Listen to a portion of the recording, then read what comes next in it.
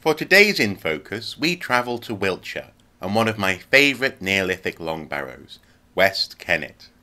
Located on a chalk ridge close to Silbury Hill and one and a half miles away from Avebury, it is part of a sprawling landscape, long recognised as filled with monuments and meaning. This landscape was investigated by John Aubrey in the 17th century and William Stukeley in the 18th century. He believed the significance of these monuments lay in their interconnectedness and produced a detailed plan covering an entire landscape, the so-called Avebury Serpent. In the 1600s, despite grisly stories of ghostly hounds haunting the area, West Kennet Barrow was raided by local doctor, Dr. Toope, who used bones he discovered in potions and medicines. In the 19th century, turf and chalk were removed from the mound and a farm track crossed over it. One of the chambers was excavated by Dr. John Thurnham in 1859. He removed human skulls in order to measure them, but he left no detailed records of his research. Though this was the first serious investigation of West Kennet, it is the excavation and restoration work carried out by Stuart Piggott and Richard Atkinson in 1955-56 that has resulted in the monument that we see today. West Kennet is a chambered long barrow and one of the Severn Cotswold tombs, similar to this site, Wayland Smithy. It is one of the longest barrows in Britain, totaling around 100 metres, and is estimated that 15,000 man-hours were expended in its construction. The barrow rises gently towards its chambered end, and has the remains of quarry ditches on each side. The chambers take up approximately one-eighth of the barrow's length, and are comprised of two pairs of opposing transept chambers and a single terminal chamber. The entrance is defined by a forecourt area with a facade made of large slabs of sarsen, dense sandstone, stones, which were placed to seal the entrance. Archaeobotany has established that the Long Barrow was built on grassland, and construction commenced around 3600 BC, 400 years before the first stage at Stonehenge, construction of Silbury Hill, or the Avebury henge, and it was in use until around 2500 BC. Thus it is thought the tomb was in use for around a thousand years.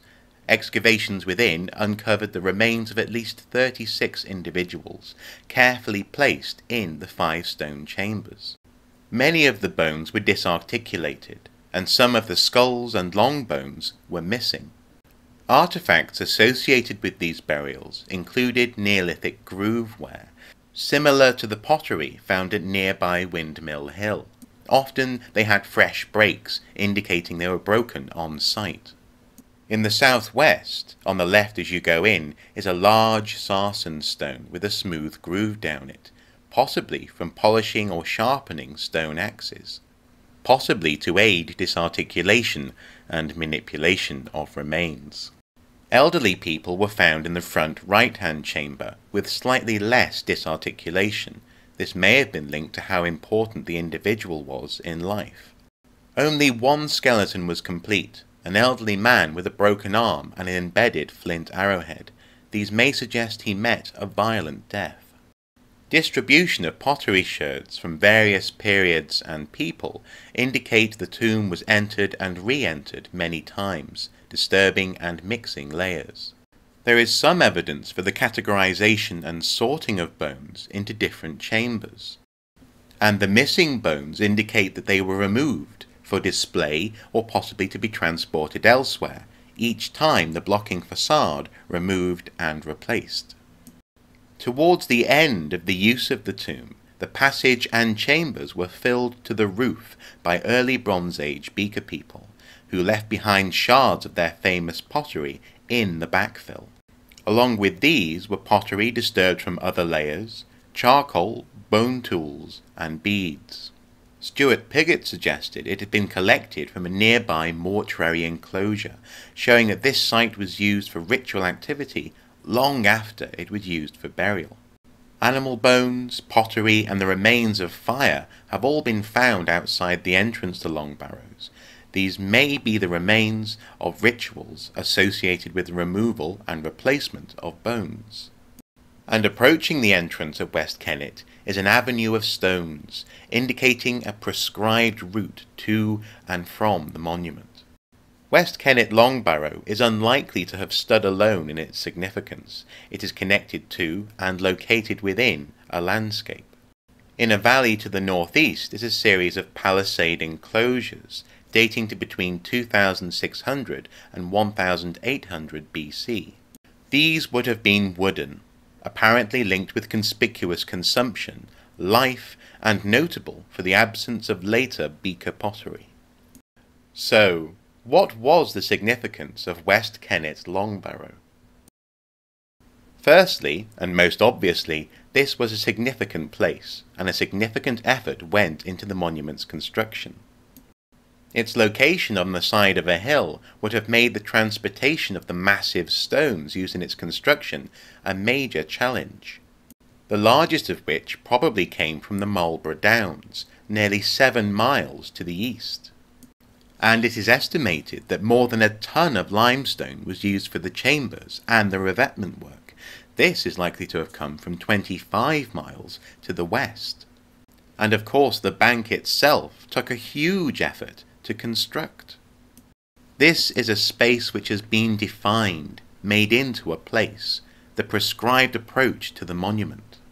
The less public but still open space of the forecourt before you enter the tomb and the transition beyond a stone facade to a more restricted, smaller space within. The separation of space is the separation of knowledge and power. Within the chamber, bodies were transformed, disarticulated, and sorted. Which categories guided them, and which remains were taken away is unclear, though age seems to have played a role. Why were these rites performed? It is possible that in disarticulating and moving remains around, they lost their identity and simply became those who came before, the ancestors, a mass to be honoured and revered. The landscape is crucial in understanding such sites, for they don't exist in isolation. Just as with Stonehenge, its meaning and significance is revealed through an understanding of its context in the landscape. The enclosures close to West Kennet illustrate that this was a landscape contrasting the living and the dead, wood and stone. West Kennet was peopled by the dead, in contrast to the living palisade enclosure, where there is evidence of feasting. This contrast, while strong, resulted in liminal areas where the spaces blurred with prescribed routes for passing through them. And the living clearly did visit the dead, in an interlinked symbolic existence within the landscape. The meaning of the West Kennet long barrow probably changed over time. The insertion of beaker pottery into the long barrow during a filling in event and its absence from the enclosure illustrates a changed use of the landscape. These were possibly people attempting to associate themselves with the dead, anchoring them to the landscape via places which were clearly special but whose use had shifted. West Kennet Long Barrow is a very special site and one of my favourite Neolithic monuments. It beautifully illustrates the complexity of the people who constructed it, the changing associations and nature of monuments over time, and is an excellent archaeological case study, stimulating a question for every answer it yields. For all of these reasons, I continue to be intrigued by the West Kennet long barrow.